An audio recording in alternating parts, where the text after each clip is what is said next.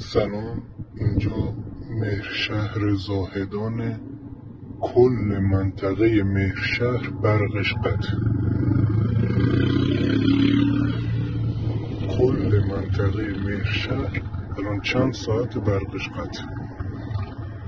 هر روز وضع همینه روزی دو ساعت سه ساعت کل منطقه مهرشهر چند هزار خانوار برقش قطع.